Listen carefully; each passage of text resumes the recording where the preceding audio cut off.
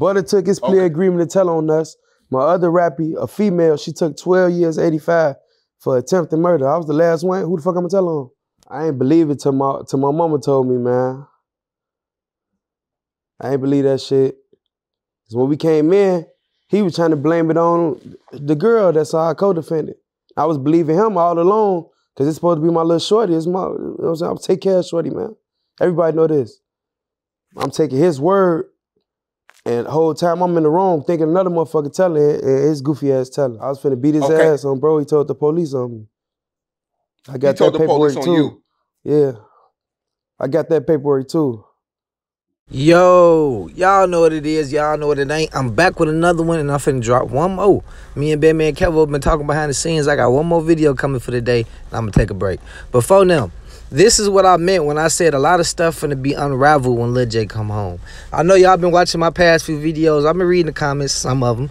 Dude was like, man, what do you mean by this? What do you mean by that?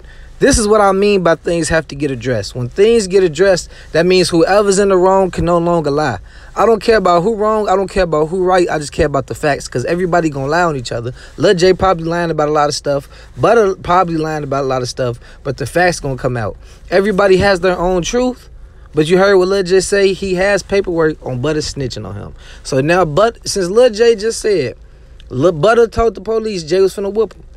You got the paperwork. You just let the world know, me included, which I'm in the world, that you got paperwork. Now you have to release it. It shouldn't be no more uh, him, like you know what I mean. Like he said, she said.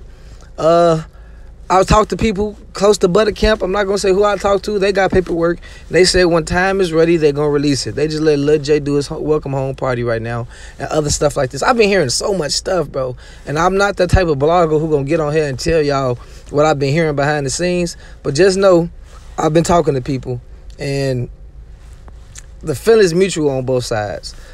I feel like Butta really, honestly, got some valid points that he's gonna let the world know really soon. And right now it's just Lil Jay turn.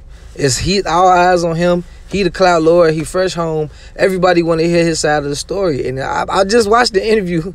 I don't know. My girl called me because I love my girl. I love my family, bro. People keep me on my toes. Like I, it's just crazy how my family interested in my blogging life. They'll call me up. My girl called me like, "Did you hear Lil Jay said Butta snitch for Italian beef in the pop?"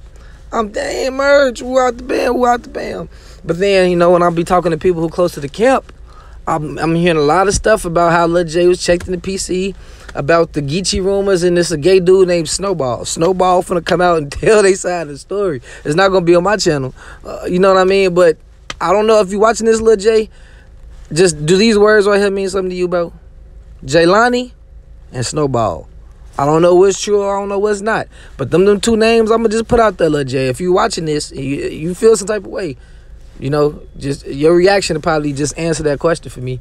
But on a serious note, if Butta was finna fight Lil Jay and he told, that's flawed. I remember me and my cousin, the one I fought who poured out my dreads before, and I said I should have popped him, and y'all was talking crazy. Um, his mama pressed charges because my there's a lot of stuff going on behind that. He busted my windows, and I was finna whoop his ass before we went in the courthouse. And you know he did? He got escorted through the side door, him and his mama. So that's flawed. That's really flawed if you did something like that. But like I say, truth gonna be truth, and facts gonna be facts.